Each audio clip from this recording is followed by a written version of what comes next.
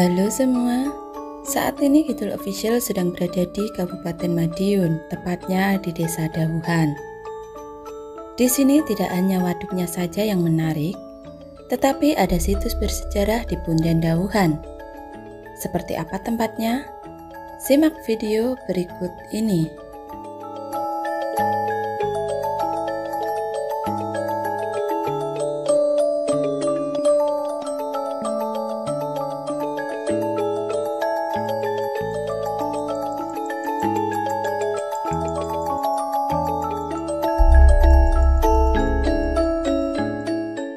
Sebuah desa bernama Dawuhan, Kecamatan Pilang Kenceng, Kabupaten Madiun, memiliki objek wisata yang sudah populer di kalangan masyarakat umum bernama Waduk Dawuhan. Waduk Dawuhan ini memiliki luas 1273 hektar.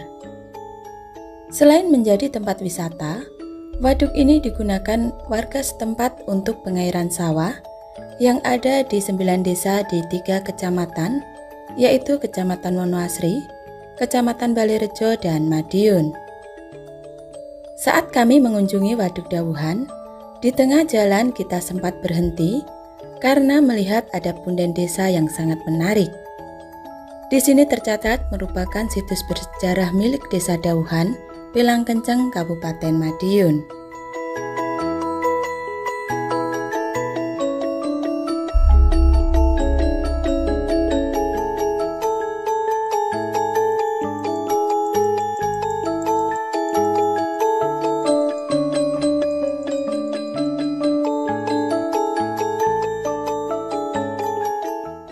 Informasi dari masyarakat setempat, punden ini masih difungsikan untuk berbagai acara desa.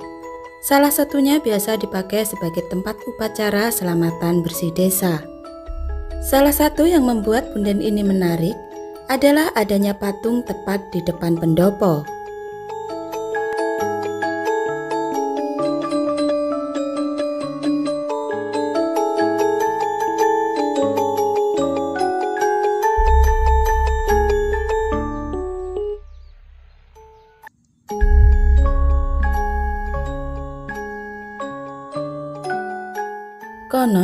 Patung tersebut hanyalah replika saja, karena patung yang asli sempat hilang dan kembali lagi.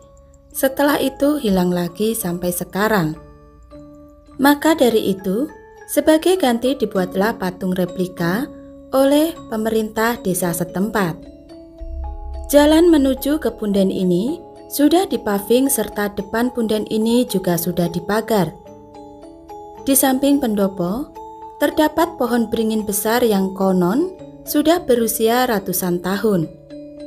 Di belakang punden ini terdapat pohon bambu yang sangat lebat.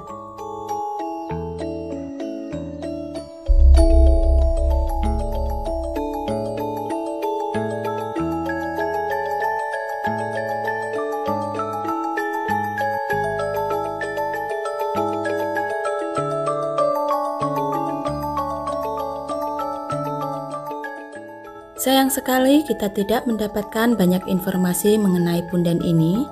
Hanya saja memang punden ini sudah ada sejak zaman dahulu dan sering digunakan untuk upacara adat di desa Dawuhan.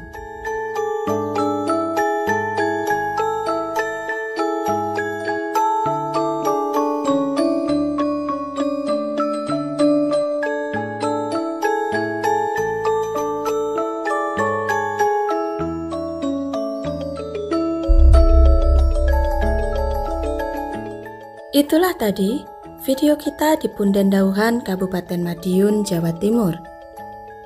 Jangan lupa untuk like, komen, serta subscribe channel Kidul Official agar kalian semua tidak ketinggalan video menarik lainnya. Terima kasih dan sampai jumpa di destinasi wisata berikutnya.